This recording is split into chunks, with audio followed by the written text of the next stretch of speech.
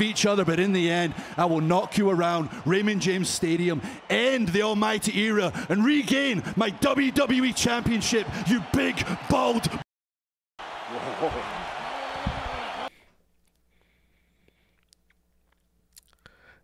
That's the Drew I like to see.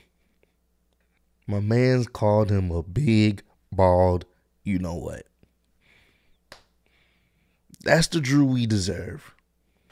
What's good, y'all? It's your boy Ross back at again with another video. So, you saw the intro clip. You saw Drew's confrontation with Bobby Lashley and, and how just aggressive he was and just trying to prove a point. I love it. This is the Drew that I think a lot of people liked.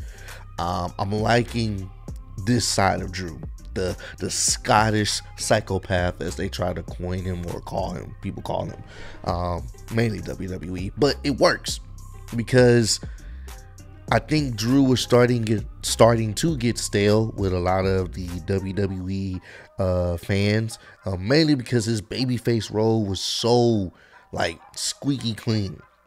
Like when we think of like a baby face that has like this edginess to him or this this roughness to him, you think of like a Stone Cold, you know, or you think of like a Rock. Like they could do some things that even though technically a baby face shouldn't do, but it still works because you're rooting for them. They're the good guys. You want them to win, and sometimes the good guys have to get a little bit dirty, get down and dirty with individuals. I like how he's addressing Bobby Lashley, their come up in WWE, how they were in WWE for years. They busted their ass. Then they both left the company to come back with a fresh start.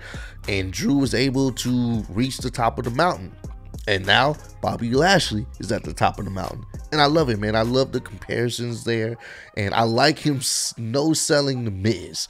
This is why my my whole thought process of Miz being the champion for that one week to me he was a transitional champion obviously and it was it was a waste of time I think they could have did went it went about it a different kind of way to get Bobby Lashley the championship if they wanted to, or if they was just gonna try to find a way to have the Miz not have the. Briefcase, I think they wasted the potential on the Money in the Bank briefcase because I don't think the Miz really needed it and no one really buys the Miz as a viable WWE champion. So I think that was kind of a waste of a waste of time. But ultimately, we got Bobby Lashley as the champ, and he looks good as a champion. I believe he is a champion the way he dresses, the way he presents himself.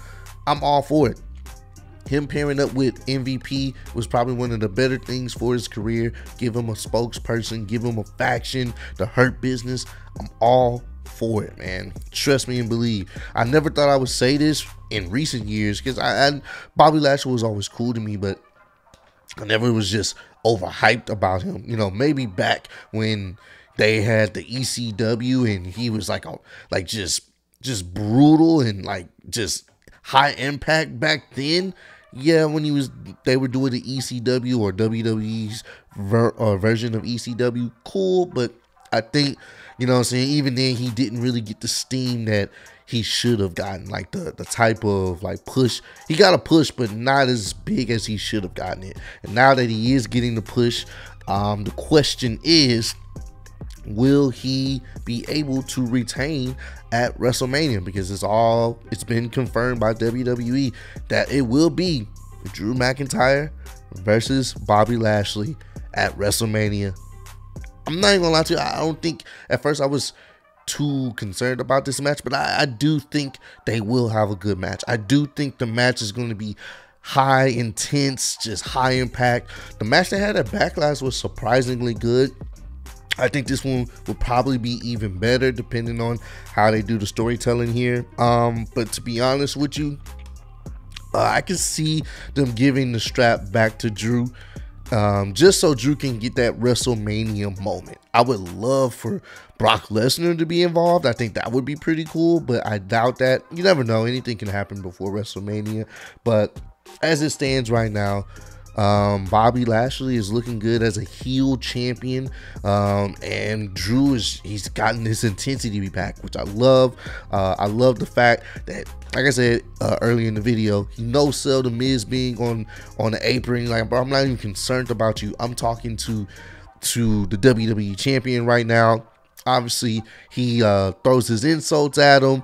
Bobby Lashley gets upset, attacks him from behind. Then The Miz uh, attacks uh, Drew McIntyre while he's already on the ground as uh, Bobby Lashley walks up the ramp, and then he gets attacked by Sheamus.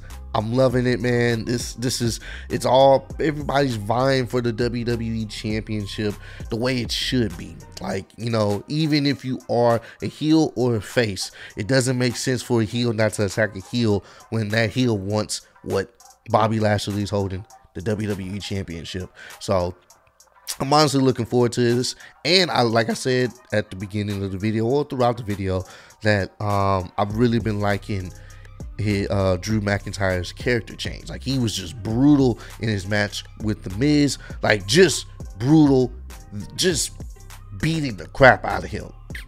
Literally just repeatedly slamming his head on the steel steps, and then he he hit him with his own finishing move, the Claymore, the Claymore kick, and then he put the hurt locker on him, bro. He put the hurt locker on the Miz just to prove a point to Bobby Lashley to send a message. This will be you at WrestleMania. I love it. Just very sadistic. This is how you do it.